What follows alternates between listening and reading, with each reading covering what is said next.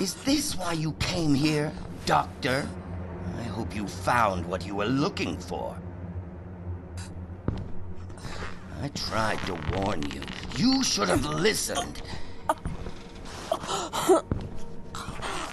Is it really worth it to put yourself into this story?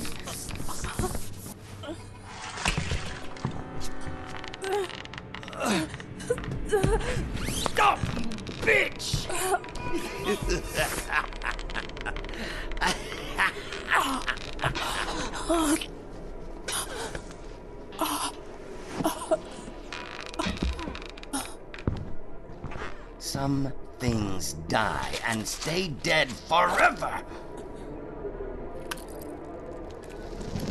Other things die and just linger in time. Uh, sir, sooner or later, everyone will find out the truth. I already told you the truth. My daughter left us just one afternoon.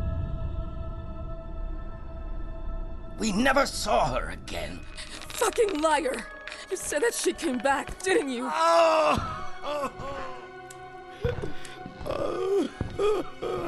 You don't understand. You, you have no idea of what I've been through. The pain.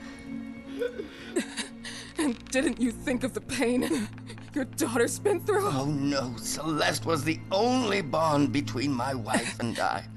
Our marriage was more of a business deal than love.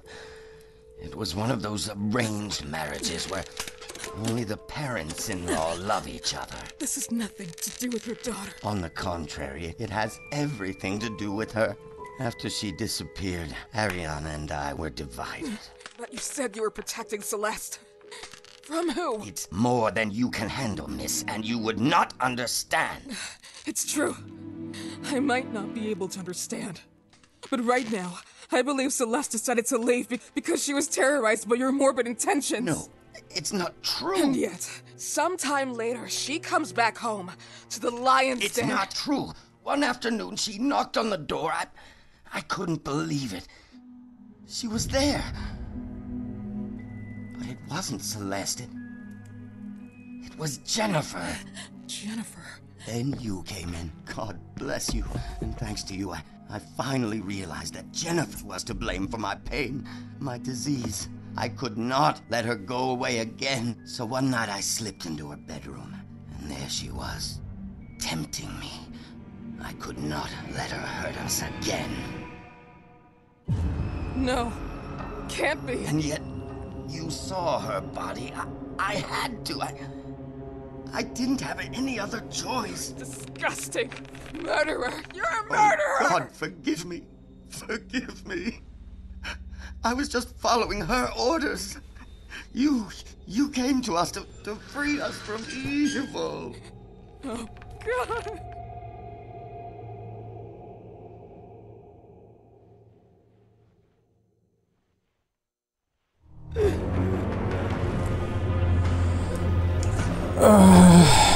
Okay.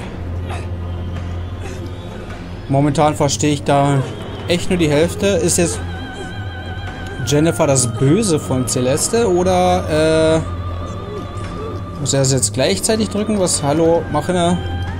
Oder abwechselnd? Ich weiß es nicht.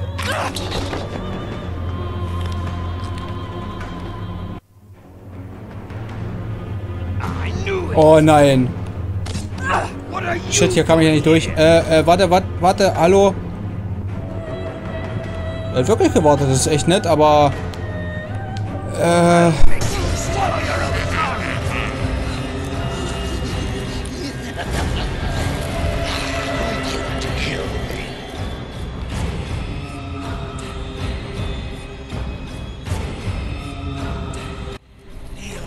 What the fuck? What the fuck? Was ist das? Alter, äh, äh, äh, äh, kann, kann ich da überhaupt entkommen? Äh, scheiße, wo ist der Doc hin?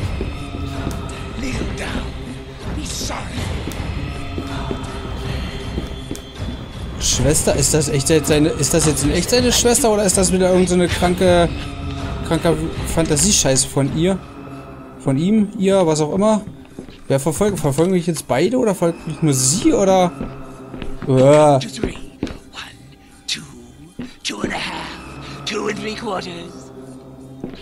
Oder ist das die, die, die, äh, die alte hier? Äh. Na? The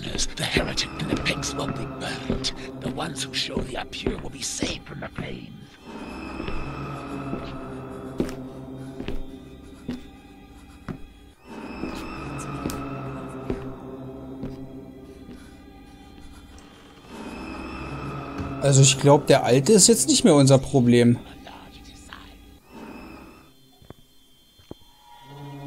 Aber was ist das für eine komische Nonne?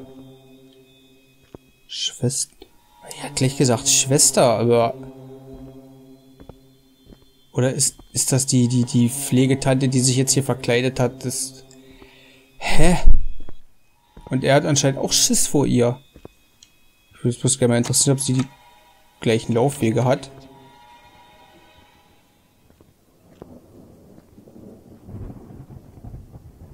Ich muss noch mal hoch. Ich muss mir das Bild angucken. Stecke dich vor der roten Nonne. Äh, toll.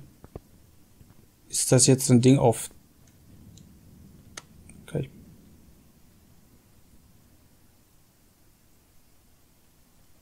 Hey, wait! Stay back! Okay. Okay. Ich hab grad voll Gänsehaut. Und dieses... Das war ja schon das creepy Mädchen.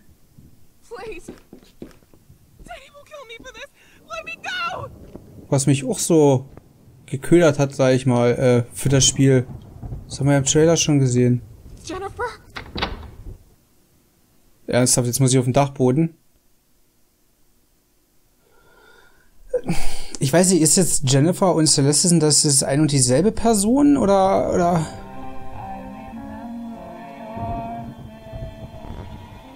Äh, ich brauche doch bestimmt irgendwas, um da ranzukommen. Die scheiß Musik spielt schon wieder.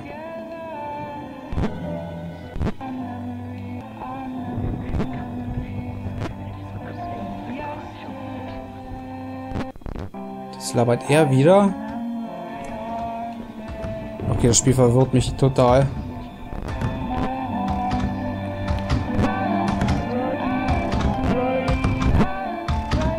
Weiß nicht, ob das so eine gute Idee ist, wenn ich da jetzt reingehe, aber ich will wissen, was da auf dem Bild war. Und was ist das für ein Kloppgeräusch?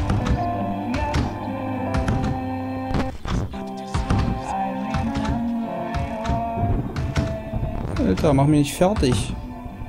Es ist mitten in der Nacht. Ich würde sogar die Taschenlampe anmachen, aber ihr wisst ja.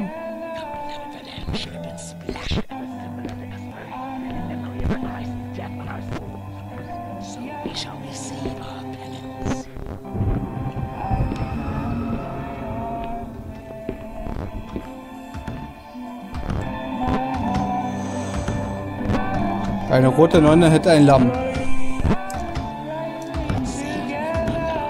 Lol. Warte mal, ich nehme erstmal. Ich habe, glaube ich, keins mehr gehabt.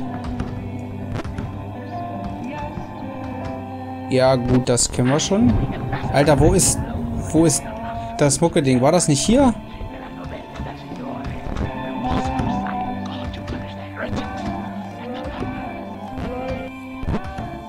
Konnte ich das überhaupt vorhin ausmachen? Ach nee, das war ja im Schlafzimmer von der Alten, ne?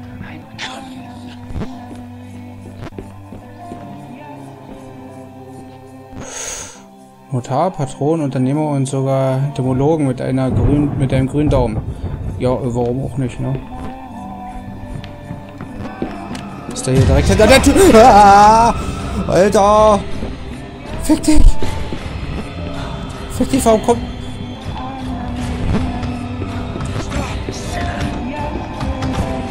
ist das für eine alte? Ähm... Ähm...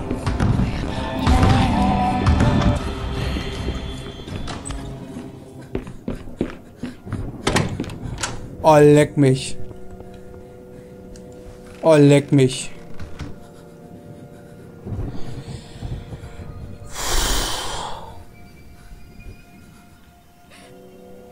Ist das jetzt ein Bildfehler?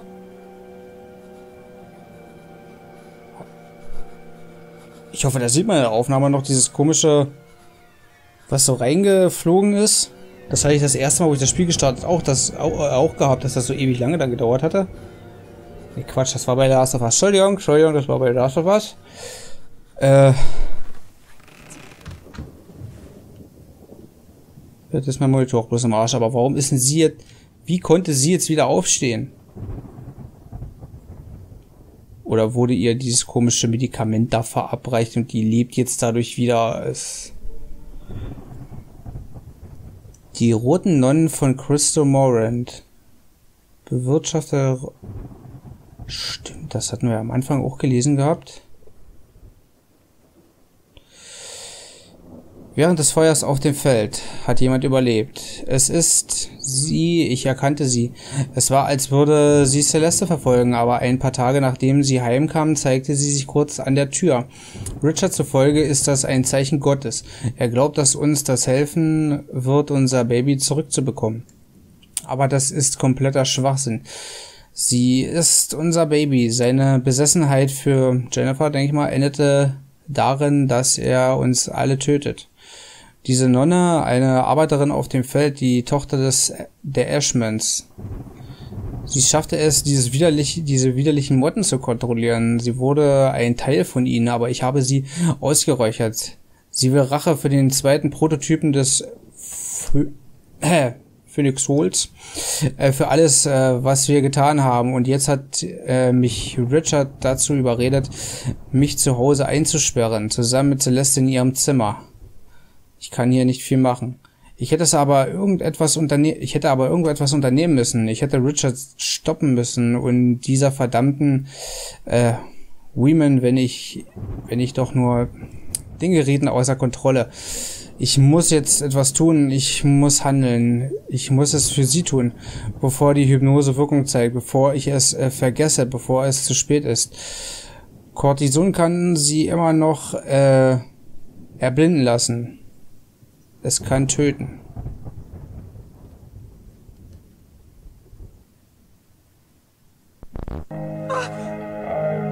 Es war so klar, es war so klar. Aber warte mal ganz kurz. Nur ganz kurz. Ich weiß nicht, ob das jetzt am Ende vom Renderprozess liegt. Sorry, sorry, sorry, Leute. Aber tut sie automatisch die Bildvorschau irgendwie aktivieren, warum auch immer der Scheiß soll. So, jetzt habe ich wieder alles im Blick. Fortsetzen. Ähm.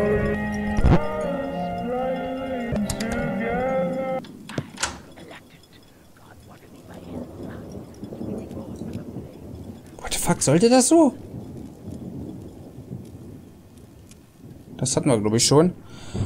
Äh, ja.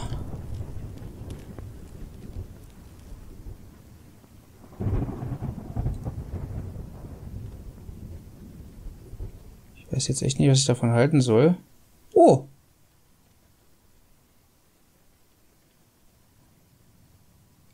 Alter Regenschirmgriff, aber... Wofür? Gucken, nein. Hölzerner Griff, welcher zu einem kaputten Regenschirm gehörte. Für was kann ich ihn wohl brauchen? Ja, musst du doch wissen, du hast ihn noch mitgenommen, Weib. Ähm. Gut, ich schätze mal, die Antwort könnte wirklich so einfach sein.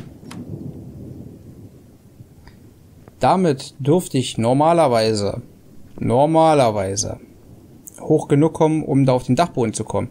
Und wisst ihr was? Ich bin jetzt einfach mal so frei. Ich weiß, sie wird wieder kommen. Aber ich gewöhne mich ja an so einen Scheiß relativ schnell. Wahrscheinlich wird sie mir auch entgegenkommen. Nee, Quatsch, bin ich bescheuert? Wo renn ich denn hin, Alter? Nee, noch weiter? Nee, hier war das nicht, ne? Nee. Okay, ruhe ich erstmal aus. Ich hoffe, ich finde da oben ein Metronom. So.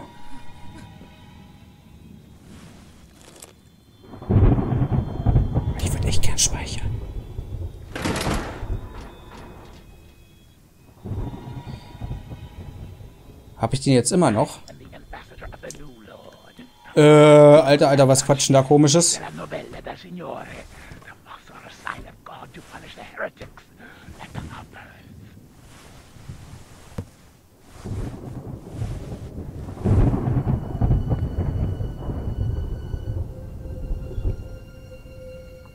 Yeah, ich liebe Puppen. Kann hier nicht ein Metronom sein? Vielleicht habe ich auch Glück und die Alte lässt uns hier in Ruhe erstmal.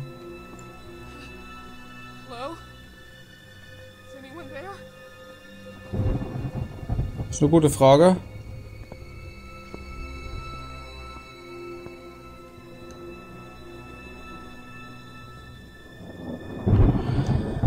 Fehlt eigentlich bloß noch, dass sich die Viecher hier bewegen.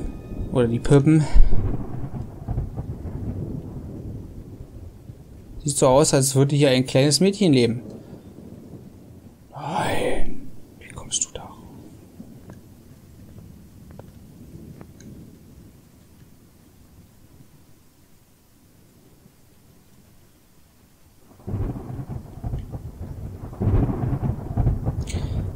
Ich kann mir nicht helfen. Nee. Aber die Puppe hier, die so wie zurückgehalten wird. Ich, ich weiß nicht.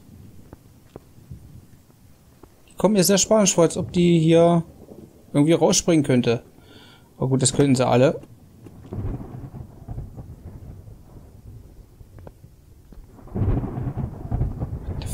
Welches kleine Mädchen lebt denn hier so? Ja, Puppen sammeln schön und gut, aber...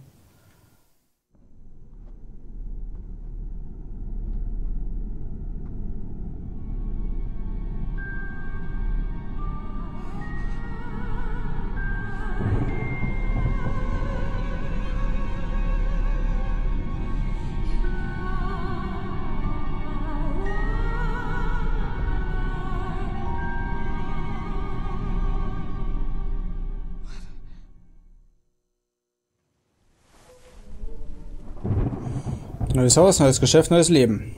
Ich wollte gerade sagen, das Ding sieht irgendwie aus wie ein Altar.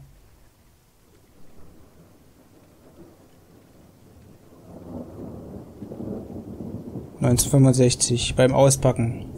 Ariana und Cell... Ich bin Jennifer. Hat das jetzt wirklich was mit gespaltener Persönlichkeit zu tun?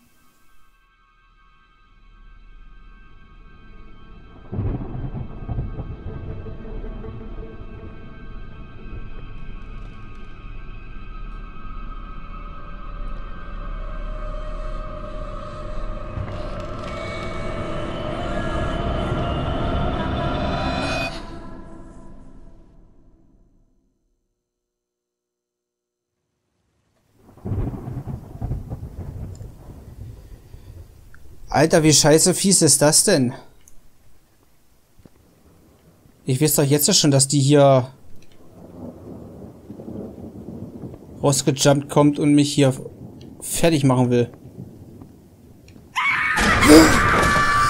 Genau gewusst, Alter. Oh nein. Oh Gott.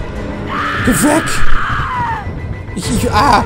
Ich hab dir nichts getan. Hau ab. Äh. Runter.